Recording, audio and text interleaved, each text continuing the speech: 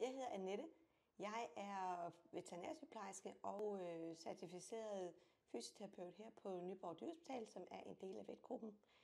Jeg har arbejdet med, øh, med fysioterapi og genoptræning igennem øh, de sidste øh, 11-12 år, og jeg skal prøve at hjælpe jer igennem med, med, med fysioterapi og genoptræning og forebyggelse af skader. De første dage efter din hunds korsbåndsoperation er det vigtigt, at man hele tiden har lidt bevægelse i benet. Så det vil så sige, at man bøjer og strækker det, men ikke mere end ganske lidt, så det er maks 10 procent. Så det vil sige, at det, der er vigtigt ved din hund, det er, at du holder knæ, knæledet lige, og det vil sige, at benet her også er lige, sådan, så det ikke drejer eller drejer den anden vej, fordi det har en belastning op på knæledet. Så hold din hånd under her og under knæledet, og så strækker du ganske lidt, og du bøjer ganske lidt. Og det her, det kan du godt lave en, en 5-10 gange, et par gange om dagen. Efter du har lavet øvelser, er det vigtigt, at man behandler med noget is, fordi det tager hævelsen, og is i sig selv virker også en lille smule smertestillende.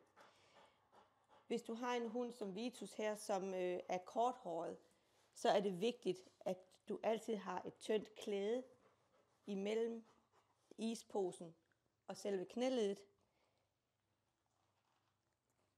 Og hvis du ikke har en, øh, en ispose, som man øh, enten kan få hos sin egen fysioterapeut, eller man kan købe hos, hos sin dyrlæge, så kan man også bruge en pose ærter, eller, eller hvad du nu lige har i fryseren. Det er vigtigt, at isposen den ligger rundt om knæledet, og at, at øh, hunden ligger og er helt afslappet. Lad isposen ligge på, så længe hunden kan, kan holde ud og ligge med det, men i hvert fald i en 5-10 minutter må den gerne ligge.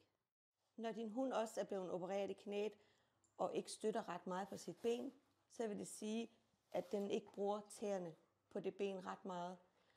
Det betyder, at senerne på det her ben her, de bliver stramme, og de bliver ufleksible.